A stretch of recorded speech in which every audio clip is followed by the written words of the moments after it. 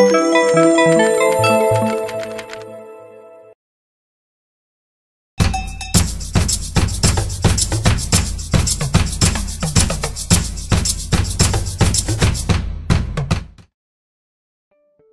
The oldest human art dates back to the Stone Age, where the first creative works were made from shell, stone, and paint. As mankind continued to evolve, so did art, but with time, this value was lost and other careers embraced. The Art and Finance Conference that was held on the 28th of March 2019 in Nairobi proved that art has elevated. The two-day conference that was officiated by Her Excellency the First Lady Margaret Kenyatta was about the building structure, institutions, and value chains that will allow the artists to tell their stories to the world through visual arts.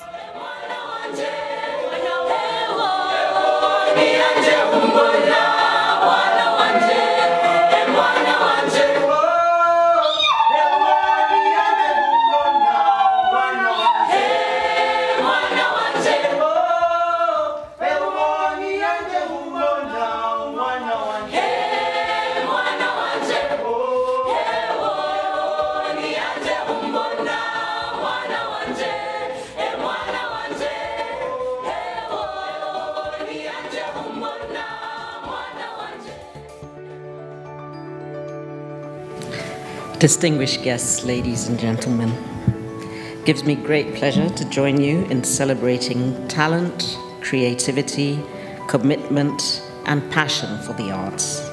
Looking around this room, it's evident that art has the power to unite people in a shared journey of aesthetic appreciation and interpretation.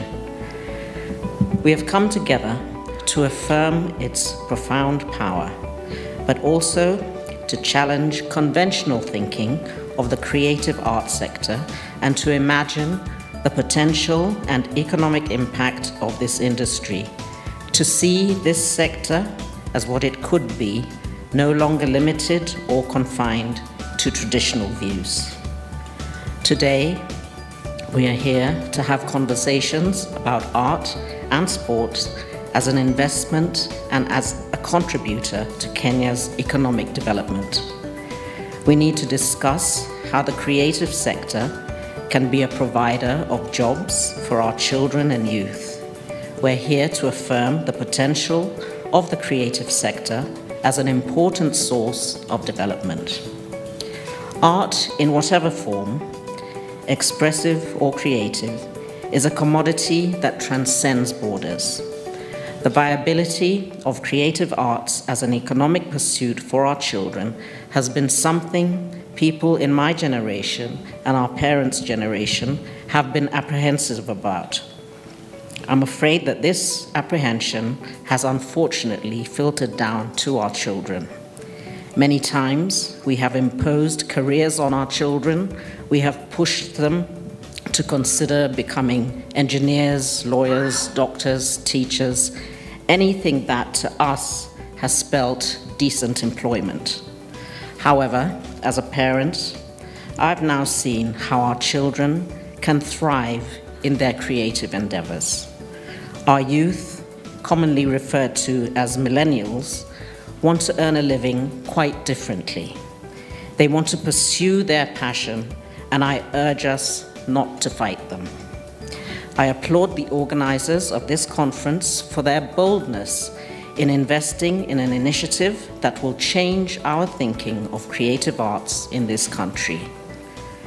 Creative art is powerful and can have real and lasting meaning beyond the money it earns. With those remarks, I now declare this conference officially launched.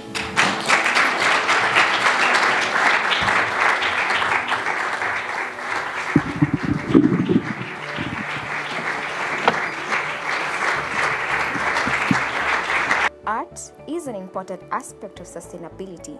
It covers all three components social, economical, and environmental sustainability. In social sustainability, art helps us keep in touch with our roots and preserve our culture by telling stories of our ancestors, how they lived, and what they valued most. Art also helps us live in harmony and appreciate our different cultures. realistically um, engage is, is going to be key, and it's a question of timing as well. Um, as Dr. Lagat has said, a lot of thinking and work has gone into preparing this um, initiative, but we've got to really think and brainstorm around how we can realistically get private sector on board.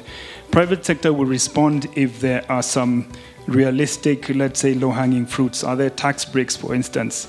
If I'm giving, uh, contributing X amounts, is this something that can be expensed and can actually help in my tax management? And as part of the art community, I am honored to have been asked by the ambassadors of Kenya to curate and coordinate a photographic art exhibition. All ambassadors have jointly come together taking photographs themselves. How do they see Kenya when they arrive? So it's a photographic exhibition called Through the Diplomat's Lens. And we're having it at the National Museum. Possibly we had set the date for 30th of May. However, we've just been notified that there's a big UN General Assembly happening that week, so we might have to shift it a week or two. So dates will be confirmed, but you'll all be invited. And it's ambassadors coming together for charity. All the funds that we're raising are going to three uh, charities a children's home, an elderly people's home, and the third one that I'm really excited about is an institution for photography. Photography is art, it's a universal language. You can take photography anywhere.